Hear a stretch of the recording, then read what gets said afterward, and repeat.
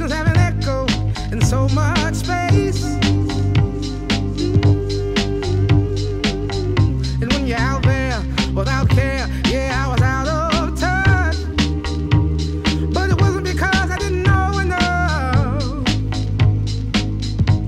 I just knew too much.